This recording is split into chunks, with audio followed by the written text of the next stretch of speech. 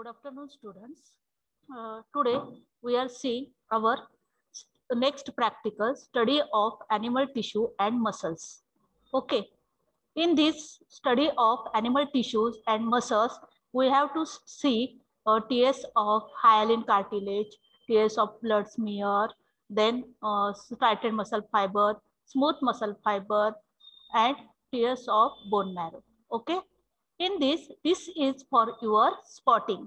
In this, we uh, you have to identify which is this the diagram in which you have to write first one the name of that diagram and uh, comment upon it uh, up to two to three lines. You will get half mark for identification and half mark for the explanation. Going ahead, see here, uh, name of our topic, name of our practical, that is the study of animal tissues and muscles. Okay. First one, TS of hyaline cartilage. Students carefully observe this diagram. TS of hyaline cartilage in which the outermost layer, it is called as the perichondrium. See, see here, perichondrium, which is the outermost protective covering of cartilage. Second one, that is the chondroblast. This, this perichondrium, it is made up of the white fibrous tissues and blood cells. What is the chondroblast? Chondroblast, it is nothing but the perichondrium forming cells. These are present, these are found in a fluid filled spaces. Okay, they that are known as the lamellae. In these, these lamellae, in this, these lamellae, these are, are uh, these lacuna are present, are um, scattered in this matrix. And this, see here, observe, there are one cells or two cells or many other four cells are forming here because chondrocytes or cartilage forming cells undergoes the cell division. That is in the lacuna, we can see the cell dividing cartilage dividing cells. Okay. What is the function of this cartilage? This cartilage avoids the friction between the bones as well as it gives the rigidity and flexibility to the cell, uh, the, to the trachea. Where the cartilage is found, cartilage is mainly found in the nasal septum as well as ends of long bones and as a ring of the trachea. Understood student?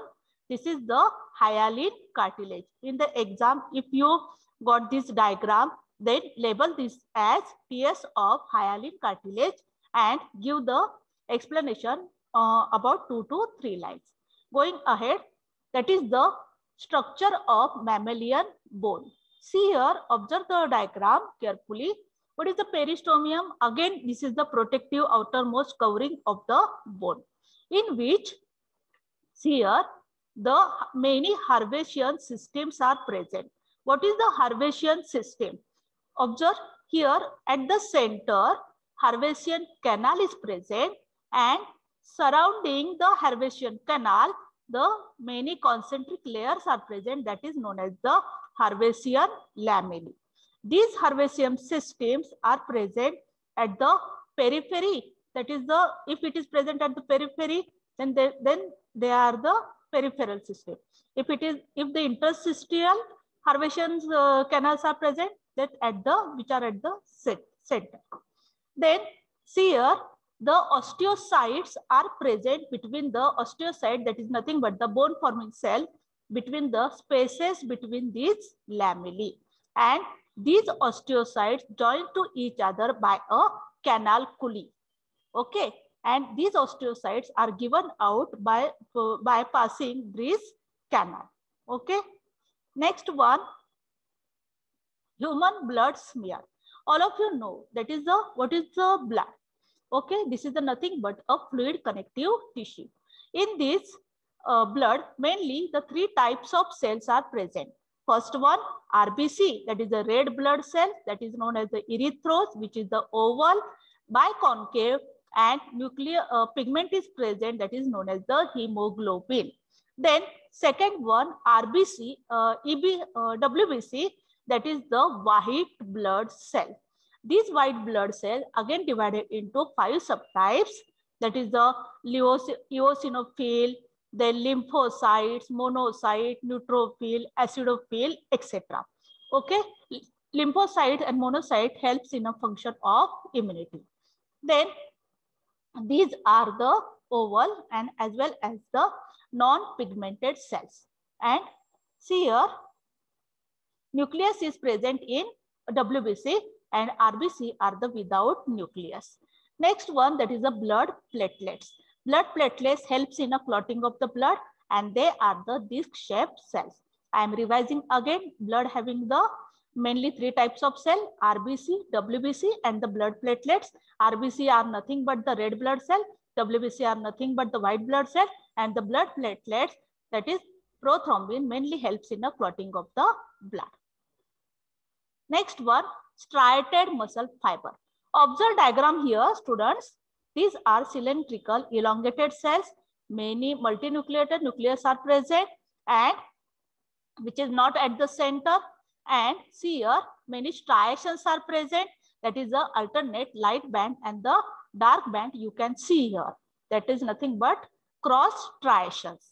And these are having a distinct sarcolemma and which is sarcolemma here the uh, it is surrounded by a sarcoplasm sarcoplasm is present and in which the sarcolemma which is the outer covering of this cell what is the function of striated muscle fiber? These are nothing but the voluntary muscle.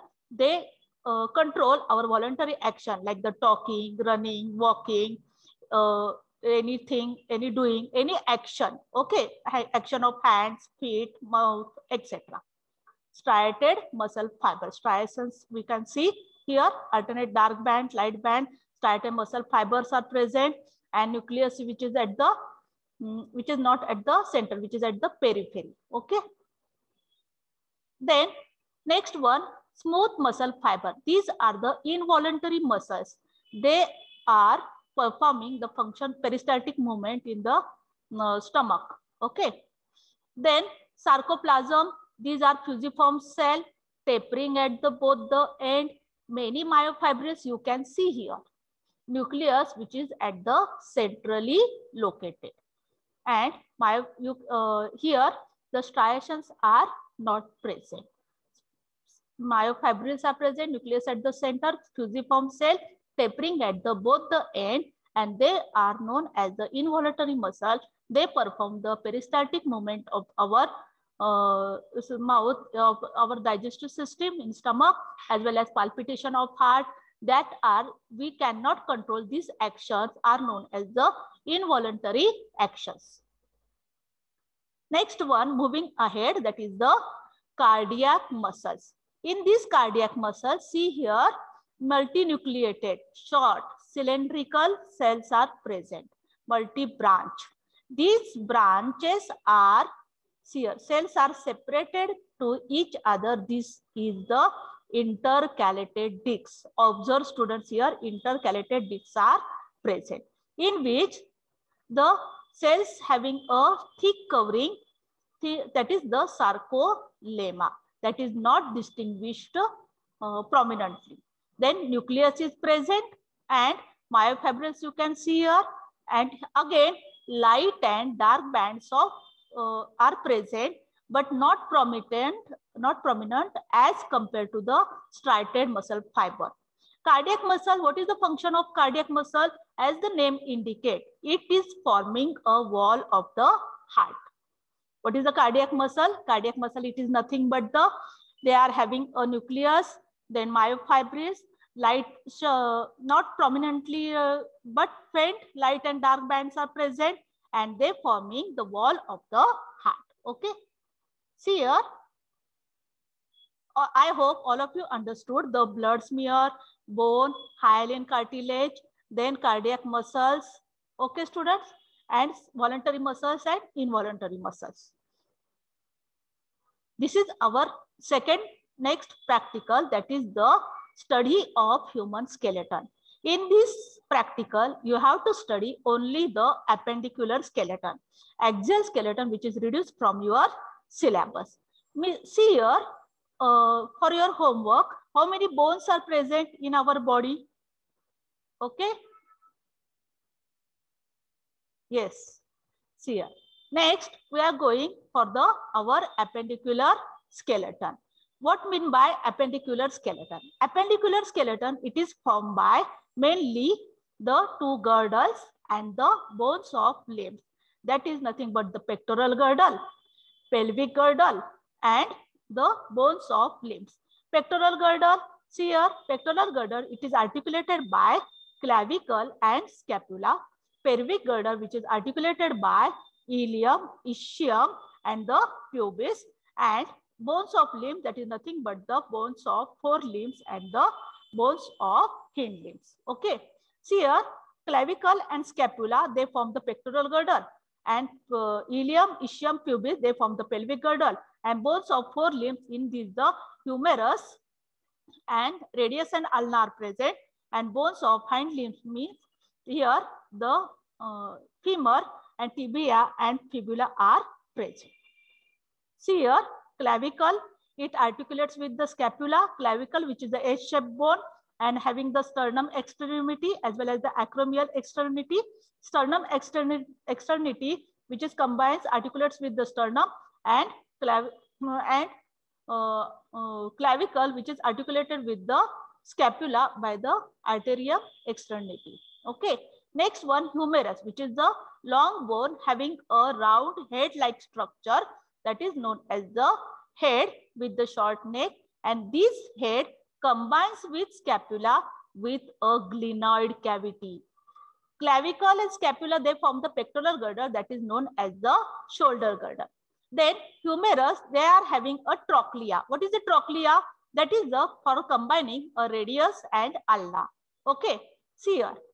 Then this radius and ulna. Ulna is the uh, larger than the radius and this radius and ulna together they form, they combine with the humerus and these are nothing but the bones of forelimbs.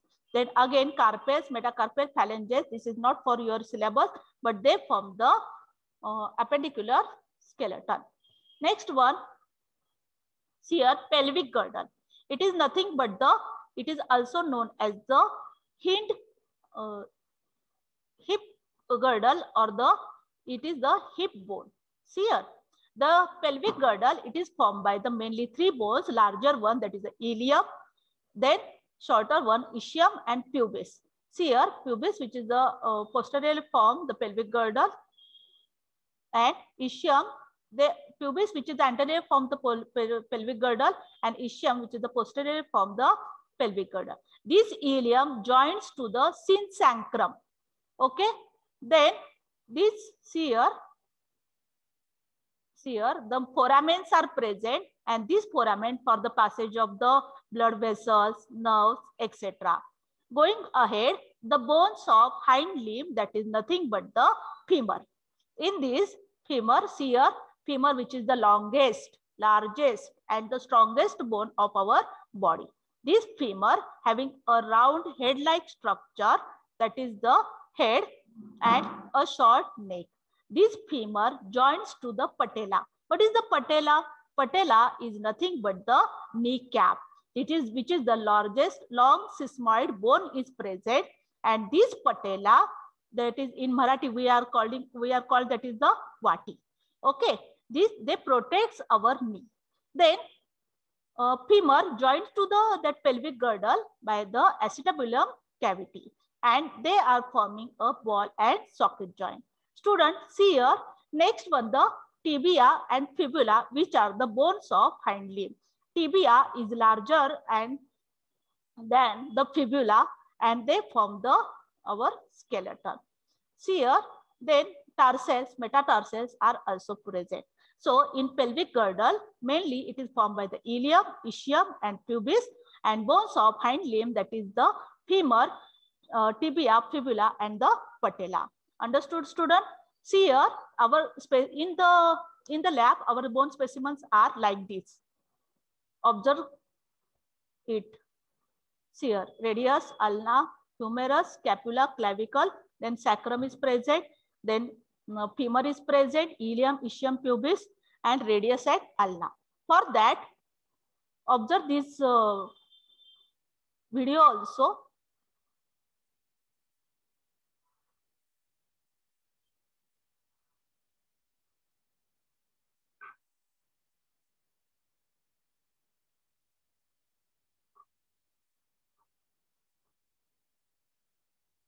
See here the scapula, clavicle and humerus, radius, ulna is present.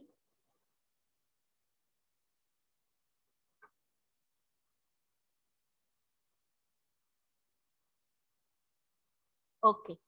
See here, uh, all of you understood this bone specimens.